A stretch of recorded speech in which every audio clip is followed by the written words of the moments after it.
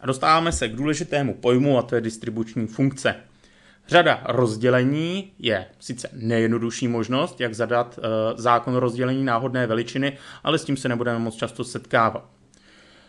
Tedy další možnost, eh, která, jak jsem už říkal, bude pro nás klíčová v možnosti zadání zákona rozdělení náhodné veličiny, je právě ta distribuční funkce, kterou značíme jako fx, kdy právě to malé x je konkrétní hodnota eh, té náhodné veličiny.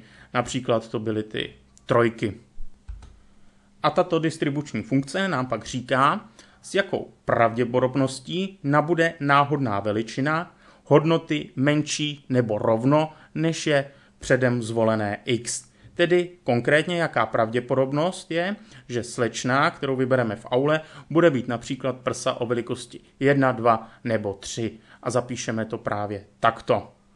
Uh, pamatujte si, to je důležité, to znamenko menší, protože často se schválně zadává příklad, kdy je, jaká je pravděpodobnost, že náhodná veličina bude větší než to předem zvolené x a to pak právě už není distribuční funkce a úlohu budeme muset upravovat, což si dále ukážeme. Takže to velké x je tedy ta náhodná veličina, v našem případě je to velikost poprsí a to malé x je pak tedy konkrétní hodnota, například jsou to ty trojky.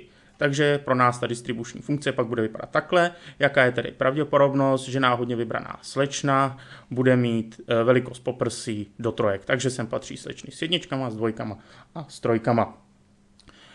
A jaké jsou základní vlastnosti distribuční funkce?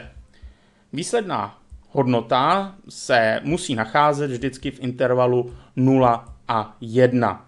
Protože pravděpodobnost, že velikost poprsí bude menší než 1, 2, 6 a tak dále, musí být vlastně mezi 0 až 100% kdy 0 a 1 patří do toho intervalu, proto také to znamenko mm, menší nebo větší rovno.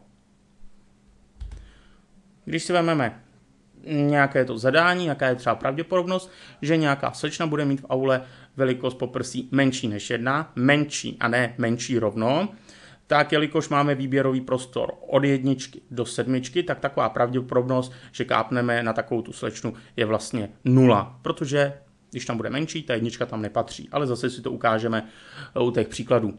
Další vlastností eh, distribuční funkce je, že je to neklesající funkce.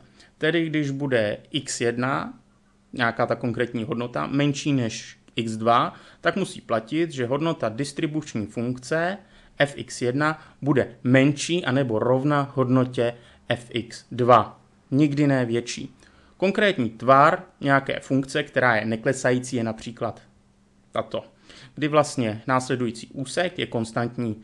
Zde platí, že přestože x1 je menší než x2, tak ty funkční hodnoty se sobě rovnají. fx jsou shodné.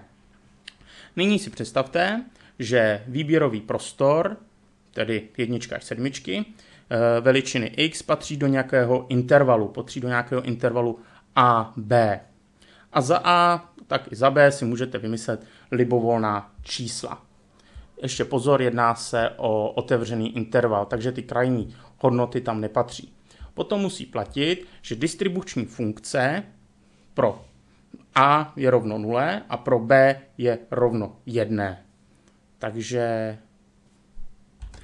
co z toho může plynout. Když totiž budete vědět, že máte nějaký výběrový prostor a v tom případě to bude třeba od minus nekonečna do plus nekonečna, tak musí platit, že hodnota té distribuční funkce z minus nekonečná je rovna nule a z plus nekonečná je rovna jedné. To je moc důležitá poučka a uvidíte to pak u těch příkladů, že vždycky budeme mít třeba zadanou nějakou distribuční funkci, budeme mít, eh, zadané nějak, budeme mít zadaný nějaký interval, jakých může nabývat a z toho my pak budeme dále počítat kdy vlastně začátek toho intervalu bude jakoby pro nás u úzovkách to A, to se bude rovnat nule a konec toho intervalu bude to B, takže se to bude rovnat jedné.